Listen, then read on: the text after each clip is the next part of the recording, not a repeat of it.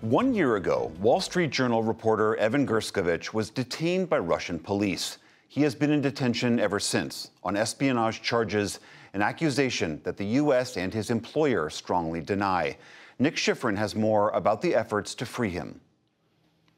Last November, the United States made Russia an offer, a trade, for two Americans the U.S. labels wrongfully detained, former Marine Paul Whelan and Evan Gershkovich. Russia rejected it. The administration it says it continues to try and find a deal that Russia might accept. In the meantime, Whelan and Gershkovich wait. This week, Gershkovich appeared in court, and for the fifth time, a judge extended his detention.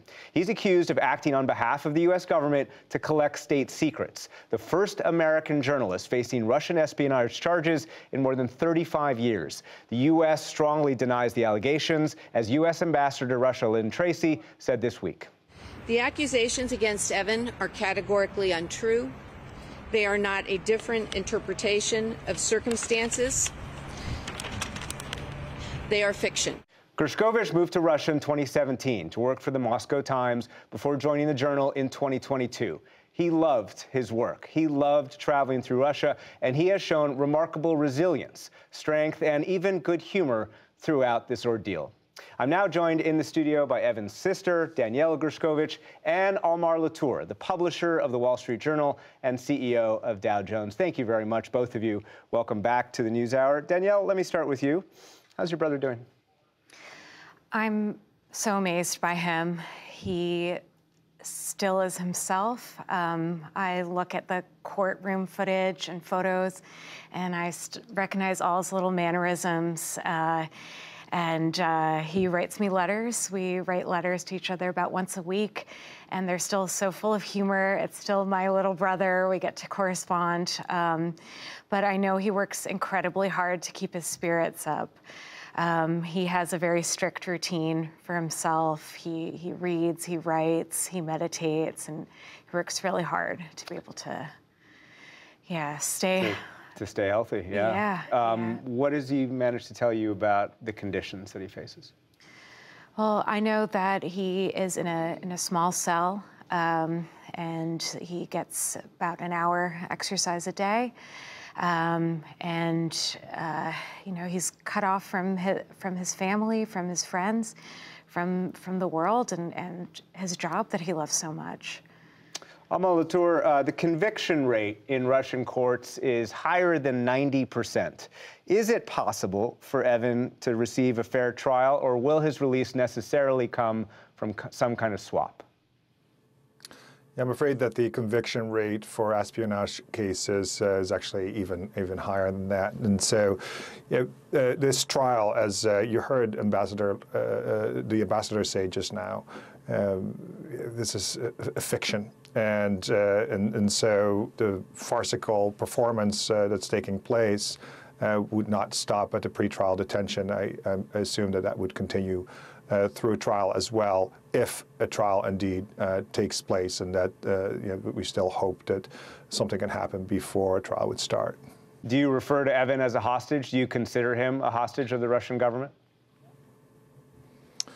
Absolutely. Um, you know, we, are dealing uh, with uh, a, a, department within uh, the State Department called the, the, Special Presidential Envoy for Hostage Affairs uh, that is uh, quarterbacking at least some of the efforts to release Evan, uh, and that name says it all.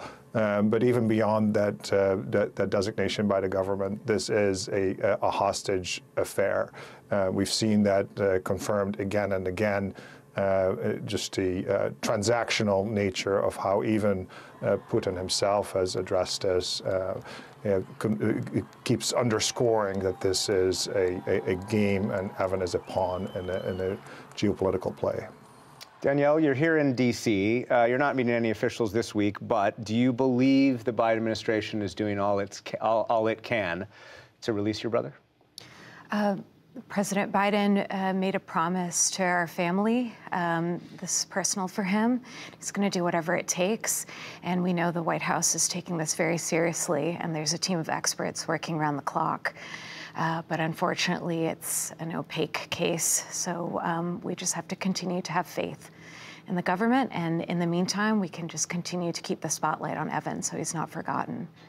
Almar Latour, let me ask you about some of those details. It is opaque, and this is a government to government issue. But uh, as I said at the top, there has been a prisoner swap on the table that the U.S. offered to Russia. Putin has said that he's still open to agreement. The U.S. has said it is still trying to find an agreement. Has the administration informed you about any uh, efforts that it is still trying to make to get this swap done? You know, we talk to the administration uh, as often as we can, and they've been, I must say, quite accessible uh, throughout this uh, this very very long year. Um, and even this week, uh, there was contact, and there will be uh, uh, ongoing contact. And and so we get updates on how. Uh, the, the, attempts at freeing Evan uh, evolve all the time. And uh, yeah, this goes with with ups and downs, as with any sort of complicated endeavor. Um, and so we've come close uh, at, at, certain points, uh, and, and, we hope uh, one of these days we can cross that threshold. I think the administration has done a, a, remarkable job of showing its engagement, uh, showing its commitment, and, making a public commitment, including to Danielle and her family.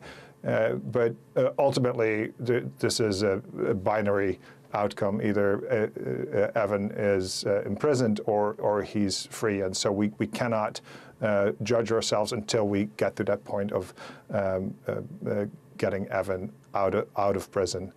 You said there were contacts this week. Can you uh, reveal any more details about those contacts? No, not specifically. By that, I only mean to say that there are regular interactions, and um, and they take place at, at re regular intervals just to make sure that uh, we understand how we can be helpful and uh, that we understand that the government is uh, indeed focused uh, on on Evan as it should be, not just with public commitments but also with actions. And um, and we have uh, full faith that that will. Uh, be seen through to its uh, uh, hopefully natural conclusion, which will be his release. The Journal does not have anyone on the ground in Russia. Many news organizations does not have anyone on the ground in Russia. What do you think the impact of that is? Well, it's the desired impact uh, from an autocratic regime that uh, holds its own people and the truth in extreme disregard. Uh, so there's been a, a, a very active, uh, proactive discouragement of uh, proper journalism for the better part of two decades. That's only intensified in, uh, in the past couple of years and really has reached a crescendo in the past uh, year. There are numerous journalists, uh, Russian and foreign journalists, imprisoned in Russia. There are two American journalists currently imprisoned there, and the signal is uh, the, the truth is dangerous uh, to the, the Putin regime. And uh, so don't try to offer the truth. Danielle, let me end uh, back to you. Um, I asked about how Evan was doing. How are you doing? How's your family doing? I'm sure you can imagine this has been a very difficult year for us. Um, it's filled with a lot of uncertainty. But whatever we're going through, I know it's harder for Evan. Um, and we just take so much inspiration from his strength. And we have no other choice. We have to keep going. We have to stay positive, optimistic. And um, I know we're going to get him home. And finally, what makes him a good journalist? Um, I just have to smile because it's my brother. I love him so much, and he's just such a passionate, curious, driven person. He loves travel, he loves writing all of these things came together and he realized that this is his passion and we're so proud of him that he got to do that. Hope he can get back to it. Absolutely, we all do. Danielle Gershkovich, Almar Latour, thank you very much to you both. Thank you so much. Thank you so much.